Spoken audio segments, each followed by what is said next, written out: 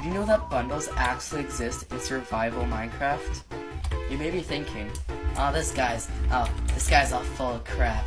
He's just trying to get us excited over nothing. Well, actually, they do. If you've been following Minecraft snapshots for long enough, you know that the command slash give at self bundle actually gives you a fully functional bundle. That's boring. So, I actually created a data pack that adds a crafting recipe for bundles.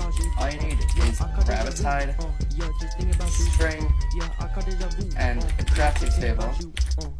And then you can place it and do this formation right here to get a fully functional bundle. See, you can just put in 29 of this, and then and 31 of that, and then you can do four crafting tables. And then, when you're done, you can just spew this all out. I think it's really fun. So if you want this pack, uh, the pack link is in the description. I can't talk right now.